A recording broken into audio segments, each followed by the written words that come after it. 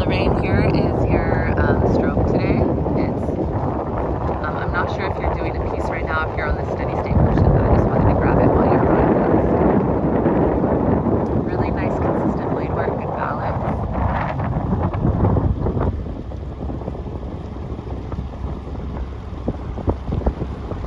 Good. Let's keep on working on that continuousness of your drive. So making sure that it's one fluid pushback.